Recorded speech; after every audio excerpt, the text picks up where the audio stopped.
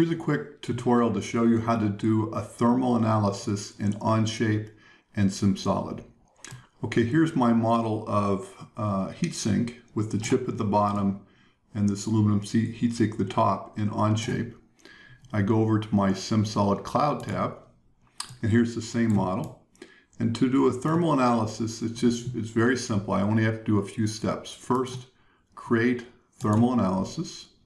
Second, specify my boundary conditions. So I want to put uh, specify temperature at the chip at the bottom. So let's just pick here and let's assume it's about 85 degrees C.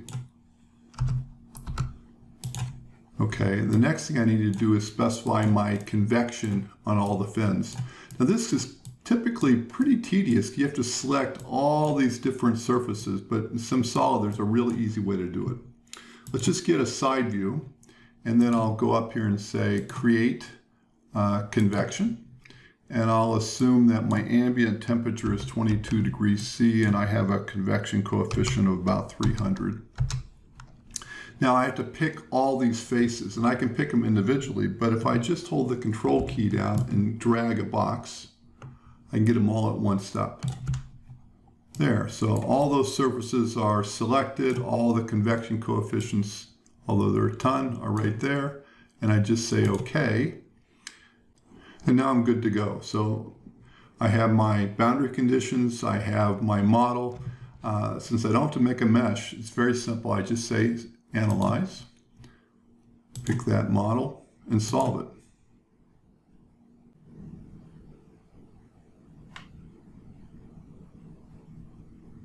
There we go. So here's our thermal results.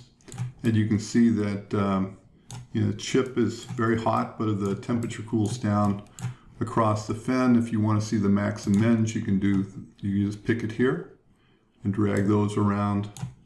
Uh, and if you want to query the model, you can do that as well. Just come here and pick here and maybe pick a few points here and here and here here, something like that, and you can see the dis distribution of the temperature. In fact, if you want to see an average value, just select all of them together and you get a nice average. Okay, so that's how you do a thermal analysis in Onshape and SimSolid. Thanks for watching.